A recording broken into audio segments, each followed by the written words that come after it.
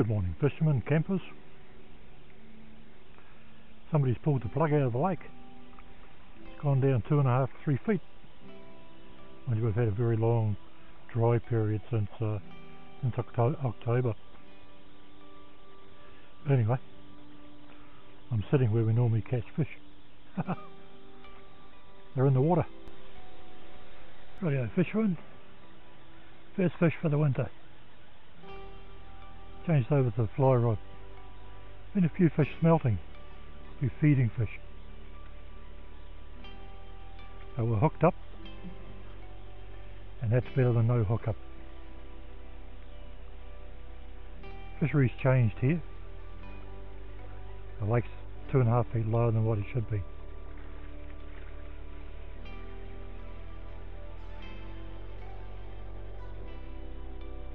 That's because of uh,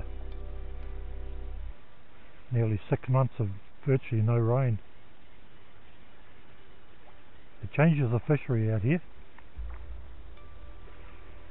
Places that used to fish, don't fish. And places that don't fish, start to fish. It's about putting in the time and the effort to go and have a nosy and fish in different spots. This one might be a feeding fish by by the looks of it.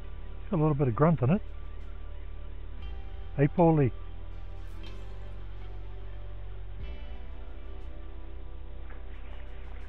Yeah, he's got a bit of, a bit of grunt.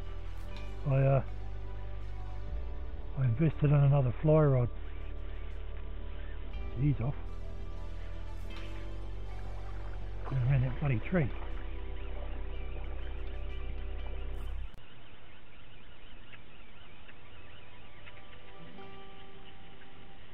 Come so I can see them.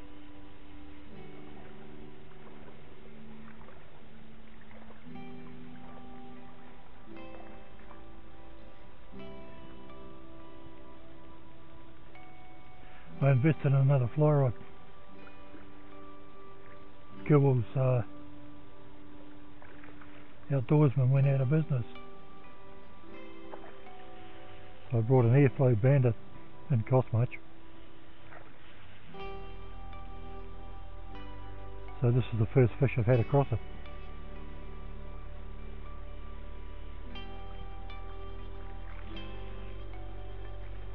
My silver fish.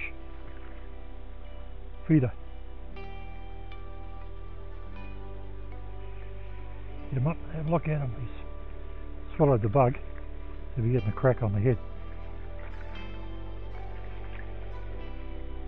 Neighbourhood cats can have this one.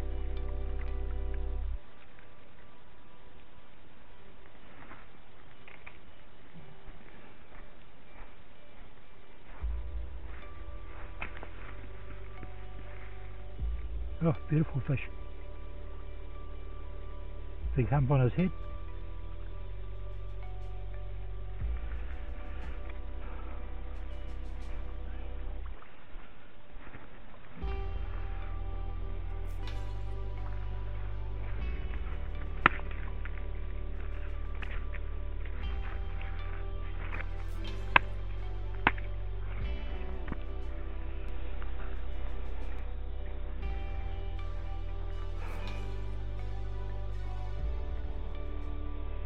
We go. First one for the season, this winter. Nice fish, look at the big bump on his head there. Normally Rhytoede fish like that, but this one got a crack on the head. It's going home. About two and a half, two and three quarter pounds. A fish is better than no fish. A poorly.